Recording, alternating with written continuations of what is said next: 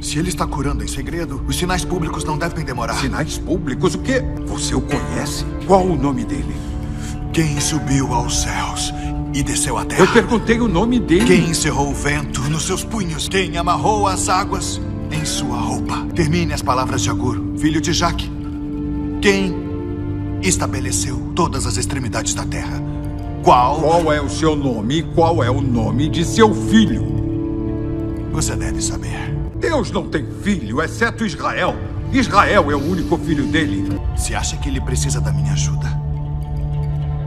Não ouviu nada. Você dormiu sua vida inteira.